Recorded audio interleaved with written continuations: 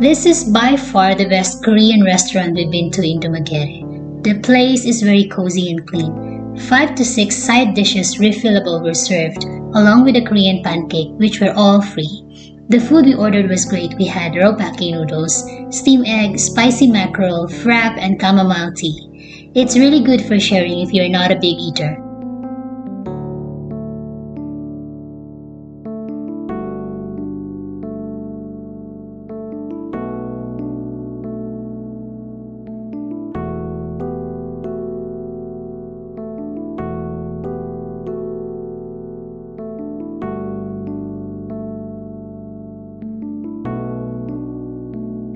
The only disappointment was the kimchi. It was too sour.